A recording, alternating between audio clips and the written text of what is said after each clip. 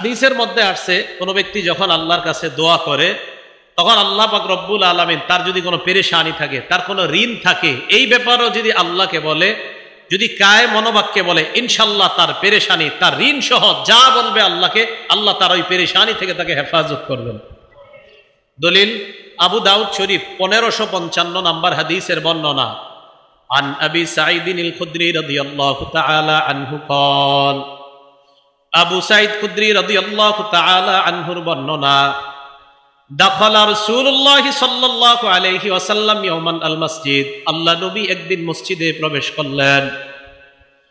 নবীজি মসজিদে প্রবেশ করার পর, ফাইদা হুয়া বিরাজুলিম মিনাল আনসার, ইউকালু লাহু আবু উমামা রাদিয়াল্লাহু তাআলা আন। হঠাৎ আল্লাহ নবী দেখলেন, নবীর সাহাবা আবু উমামা রাদিয়াল্লাহু তাআলা মসজিদে বসা। নবীজি আবু উমামাকে বললেন, ইয়া আবা উমামা, ও আবু উমামা মালি আরাকা জালিসান ফিল মসজিদি ফি গায়রি ওয়াক্তিস সালাহ। আবু উমামা, নামাজের সময় ছাড়া এই সময় তুমি অ টাইমে কেন মসজিদের মধ্যে বসা? এটা তো নামাজের সময় না, এখন মসজিদে কেন আসছো? এর মানে আমার নবীর সাহাবারা বিপদ আপদে পড়লে পেরেশানিতে পড়লে মসজিদে দৌড়ায় যাইতেন। কোথায় যাইতেন? মসজিদে। তা আপনাদের মন চায় না যে হুজুর নবীজি আসলেন কেন? তার মানে আমার নবীর ওই অভ্যাসই ছিল, নবী তো মসজিদে যেতেন হ্যাঁ নবী, আপনারা তো পাল্টা এটা বলা দরকার। হুজুর, নবীজি অটাইমে মসজিদে আসছে কেন? কারণ নবী আর সাহাবাদের কাম কি? কাম তো এটাই, মসজিদে। আমাদেরকে অনেকে বলে, মোল্লার দৌড় মসজিদ পর্যন্ত।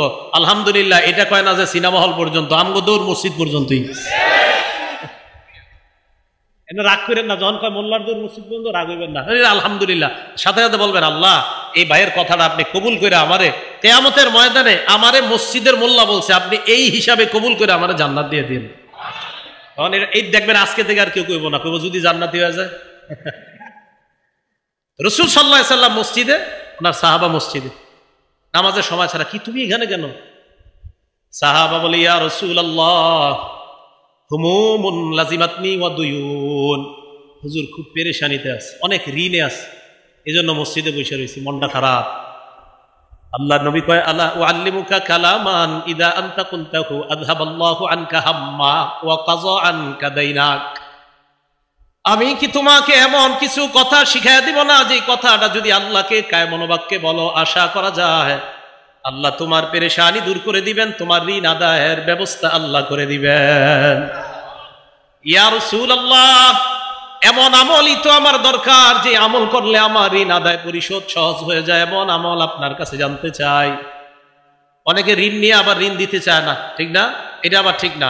বুখারীর বর্ণনা, ক্বালা রাসূলুল্লাহ সাল্লাল্লাহু আলাইহি ওয়াসাল্লাম আল্লাহ নবী বলেন, মান নাস ইউরিদু আদাআহা কোন ব্যক্তি যদি অন্য কারও কাছ থেকে ঋণ নেয়, এই নিয়তে ইউরিদু আদাআহা, আমি তার থেকে ঋণ নিলাম, আদায় করে দিব, এটা আমার আশা। ওনার থেকে আমি ঋণ নিলাম, আমার নিয়ত আছে, আমি দিয়ে দিব। নবীজি বলেন আব্দাল্লাহ আনহু, এই যে আমি ওনার থেকে ঋণ নিলাম, আমার আশা, যেই কোনো মূল্যে আমি তার ঋণ পরিশোধ করব। আল্লাহ নবী বলেন, আল্লাহ যেই কোনো মূল্যে তোমাকে ঋণ আদায়ের ব্যবস্থা করে দিবেন। এটা বিশ্বাস রাখেন। নবীজি বলছেন কেউ যদি কারও কাছ থেকে এই নিয়তে ঋণ নেয় যে আল্লাহ, আমি তার ঋণটা যে কোনো ভাবে হোক দিব, রসুল সাল্লাহ আলি সাল্লাম বলেন, অবশ্যই আল্লাহ রব্বুল আলমিন তাকে ঋণ পরিশোধের ব্যবস্থা করে দিবেন। এ বিশ্বাস রাখা। তো রসুল আকরাম সাল্লাহ আলি সাল্লাম কয়, আমি তোমাকে এমন বাক্য শিখাইয়া দেই যে বাক্যগুলা যখন তুমি বলবা, বলার পর আশা করা যায় আল্লাহ তোমার পেরেশানি দূর করে দিবেন, তোমার ঋণ আদায়ের ব্যবস্থা করে দিবেন। এবার আল্লাহ নবী বললেন, ইদা আসবাহতা ইদা আমসাইতা যখন তুমি সকাল করো, সন্ধ্যা করো, এর মানি ফজরের নামাজের পর, মাগরিবের নামাজের পর তুমি এই দোয়াটা পড়বা। আল্লাহুম্মা ইন্নী আউযু বিকা মিনাল হাম্মি ওয়াল হাজান হে আল্লাহ, আমি আপনার কাছে পানাহ চাই, মিনাল হাম্মি, হাম্মুন শব্দের অর্থ পেরেশানি, ওয়াল হাজান মানে দুশ্চিন্তা। আল্লাহ আপনার কাছে আমি পেরেশানি এবং দুশ্চিন্তা থেকে পানাহ চাই। ওয়াল আজিজি ওয়াল কাসাল অপারগতা এবং অলসতা থেকে আপনার কাছে বানাহ যায়। ও আউজুবিকা মিনাল জুবনি ওয়াল বুখলি, কোন বর্ণনায় মিনাল বুখলি ওয়াল জুবনি। আল্লাহ ভীরুতা, কাপুরুষতা এবং কৃপণতা থেকে আপনার কাছে বানাহ চাই।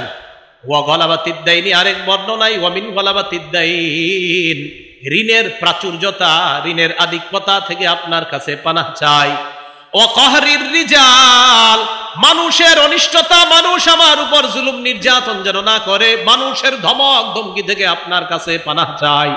আল্লাহ নবীর সাহাবা আবু উমামা বলেন, নবী, আমাকে আমল শিখা দেওয়ার পর ফালতু আমি কয়েকদিন আমল করা শুরু করলাম। আজহাবাল্লাহু আন্নি হাম্মি। কিছুদিনের মধ্যে আল্লাহ আমার পেরেশানি দূর করে দিলেন।